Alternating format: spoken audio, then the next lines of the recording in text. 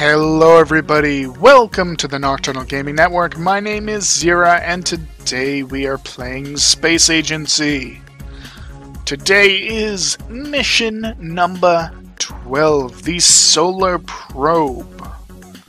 Let us go check our briefing. So, for Mission 12 Solar Probes, our objectives are to put Solar Probe Alpha into orbit around the Sun. Point Alpha's shield towards the Sun. Put Solar Probe Beta into orbit around the Sun. Point Beta's shield towards the Sun. Our budget is $22 million. And our max time allowed is 12 minutes 0 seconds.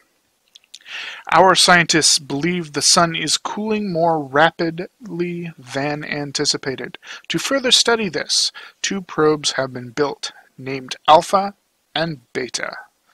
Your mission, should you choose to accept it, is to put both probes into orbit around the Sun, labeled as Navicomp Sol. To get to Sol, you will first need to travel to the purple planet, Navicomp Per. From Per, you will be able to get to Sol. To prevent the probe sensors from damage, make sure that the probes are left orbiting with their gold reflective heat shields facing the sun. Time is extremely limited on this mission. You will need to come up with a clever solution to fit all the work into the time available. So for the gold award on this mission, we must complete the mission with spending less than $22 million, which 20, 22 million 22 million is the budget. Okay. So hmm. interesting. So we we have our whole budget available to us on this one. And we have a time of 10 minutes 0 seconds. And we must not use any checkpoints. So let us go to our vehicles here. First, we will check our payload. So we have some nice green payloads here, some medium stage, medium sized payloads. And, hmm, what do I have here? I have the black arrow. Black arrow. What do I want to use? What do I want to use? Let's Let's see what's going on. Oh, but I only have one large tug module here. But this would work for one of them. And then the Ariane's 5, 20, I have 22 million, so this is this is too expensive. This is too expensive anyway. Hmm. What if what if I get rid of this, keep the Arianes? Alright, and we can put a small connector on here. Uh, not the payload, I'm, I want my, I can use the heavy tug. This is a, this is also too expensive. Hmm, let's, you know what? Let's do small stage. Alright. So we will use the long march. And with the long march, we do not need a connector because it's meant it's actually meant to connect directly to the second stage here, just like this. But uh, we aren't going to use the second stage of this rocket. We don't need it, not for this mission at least. So we will use the heavy module, and we are going to need boosters on this one. But it only makes it 72%. So let's go with alpha. That brings us back down to 70%. And then we're going to need a standard fairing, and that brings us to 69%. And our cost is 8,675,000 uh, for this one. So I'm going to go all in and I'm going to assume that these will work. Doing that, doing that, that brings us to a total cost of uh, see, that's three, so 50, so 17,350,000, which is below our 22 allotted. So if we use this rocket, if it works, we will be all set to complete the gold. So what I'm going to do is I'm going to launch it and then immediately back out. And like I said, I'm going all in on this design. So I'm going to put myself another long march and another heavy module and then put my solid boosters on of the long march kind and Solar Probe Beta and yes we have another fairing alright so we have $4,650,000 left. So we are saving the space agency quite a bit of money here. Alright so now it is time for the launch. I think we're ready for this one. All right, let's skip ahead. Five, and at four, four seconds, we are three, going to launch the boosters. And then once we get up to speed, we're going to want to pulse on this, I believe. Because I don't want to run out of juice in the second stage here. This is this is a medium stage uh, payload, so it's going to be very top heavy. I don't really think I want to be pulsing that much for the second portion of this launch. I think I want to keep it fairly steady, so we'll save, yeah, okay, so we'll kind of pulse a little bit here, we will save our juice, and we'll just do some solid boosting to the end of this so we don't get any rotation in this rocket because that would be bad. Rotation is bad when it comes to launching rockets. Alright, and we're going to need to separate the rocket really quickly here because we want to go to purple. Yes, here it is. So here's per. Oop, we're a little early, but that's fine. That's fine. We can we can do this. We want to go the other way. There we are, just like this. And Per is very far away. So once we once we get to full 180 degree rotation, we're actually going to speed up a little bit. Alright. And Per was what, 900 meters from home or something like that? So once we get to once we get to probably 500, oh, I said meters, 500 units, because meters is not correct here. Once we get to 500 units, I will go and launch the second module because we are very short on time. So we want to be multitasking as much as possible. So having two units in flight at the same time will complete this mission in the allotted time period. So we are just about there. This is this is probably close enough. So let's go launch our second, five, and we will launch four, five, three, or three or four or something. These rockets are pretty good. I like the Long March rockets. They're just expensive. I mean, if you're going to use a Long March, why wouldn't you just go through and use a medium stage rocket at that point? But they do come in handy every so often, like right now, where you need to launch a heavy payload, but you just just don't have enough of a budget to make the medium stage rocket. The Black Arrow is very helpful, but it's you know a little bit more costly for a very similar performance.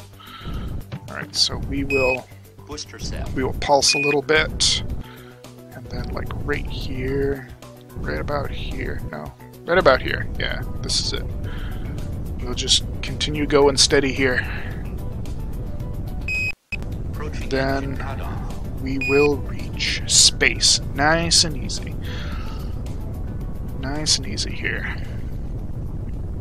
Alright, and then we'll separate our fairing. fairing And separate our first stage and go. Ooh, this is perfect. I don't even know if I'm going to have to readjust. Just a little bit. That's fine. Right about there. Okay, and we will rotate this one 180 degrees also. Alright, so right about there. And then I can speed this one up. Boom, there we are. And now, now I need to go. Where are we? So it took me 200 units to get that into space. So that means that I am approximately 600 units between the two modules. Alright, so now that we are getting closer to the planet of Per, of Purple, hmm, we're kind of off a little bit, but that's fine. That's fine, because we're going perfectly into orbit around Per. So we have 92 units. So let's slow ourselves down to just below the escape velocity here. Like right there is perfect. You can see the sliver of black between the uh, red speed. And then from here we'll go around once and then we're going to hit our reverse thrusters. Boom. And now we are going to Sol. One, two, three. This is quite far, but that's okay. That's fine. We should be heading perfectly towards Sol right now, and then we'll speed right back up. And we still have plenty of fuel. And where are we? 100 from Per, and then this other one's 300 from Per. So, okay. So, we have a little bit less space between us now, it looks like. So we're gonna we're gonna check up on this guy here. And we're coming in to Per. And I think we're gonna be fine. We're a little bit to the outside of the planet right now. But that's okay. That's fine. We can do this. We may have to readjust, but we're fine. Yes, Yes, we have to readjust. Okay, so once we have readjusted, we'll readjust our angle. Yes, so now we are coming in on the planet perfectly, so let's slow down. And we're just below the escape velocity from the planet. And there's Sol. So we will get ourselves ready, because just like the other one, we want to go around one time, and then as we come into the correct angle for Sol, we are going to hit our reverse thrusters to send ourselves hurtling towards a Sol. And right about now. Ooh, that's that is that is like perfect. Okay. Okay, so we'll get back up to speed on this one. Now we need to go check in 380 from Sol. So we're still pretty good on this one. The sun, or Sol, is extremely large in both size and its uh, gravitational pull, so getting into orbit around Sol is fairly easy as long as you are at least, you know, semi accurate with your launch. So, from here, I think we should be good. Yeah, we gotta be good we got to be good. This is this is perfect. The other thing we want to do is we want to make sure that these rockets are coming in to the orbit at different distances because if they both come in at the same distance, then, you know, knowing my luck, I'm going to run them into one another. Alright, so we're going to slow ourselves down here. And because I am the type of guy I am, I want to make this go almost, you know, almost falling towards the planet. I want it to be nice and slow orbit around the sun. There we are. We're in orbit. We're waiting for the return. There we are. It's a nice stable orbit. So we will eject the tug module. Now, second one. We are heading towards the sun still. We are still like rate perfect on track to hit this. That's awesome. So I'm going to take a quick stop at our briefing. And so we have put the solar probe Alpha into orbit, and we have pointed its shields towards the sun. So that objective, oops, that objective is complete. So now solar probe Beta. We are almost there. Just about there. It's... No, I gotta use my main thrusters. I was gonna say it's almost close enough that I could use the side thrusters to slow myself down, but I don't want to risk running out of fuel at the last second. That would not be good. So instead, I'm just to wait. I'm to be patient because patience is a virtue, and I am not really patient. Okay. But we have found orbit. We are coming into the orbit around the sun perfectly. We will slow ourselves down just like this. Almost the same speed as alpha, and then we will rotate. Okay, so we are almost 180 degrees around the sun from Solar Probe Alpha, which is over there. So not quite, but pretty close. So we're actually just gonna kind of launch, and here is gold. Well, that was fast. We didn't even have to wait. It's just like, boom, let it go. Hey, congratulations, gold medal. Alright, everyone. So, we have got the gold award in 6 minutes and 54 seconds, with a total cost of 17 million, I think it was 350,000. 17,350,000, yeah, that's gotta be right. And this mission is complete. So next time when we come back, we will refresh the crew at the station because they've been out there for a while by themselves, and you know, we can't have that. They must be missing their people on the Earth. Not to mention, you know, the whole time paradox and stuff like that. We can't have that happening. oh boy. Anyway, so thank you all so much for watching. My name is Xeriua. This is the Nocturnal Gaming Network. Have yourself a wonderful night.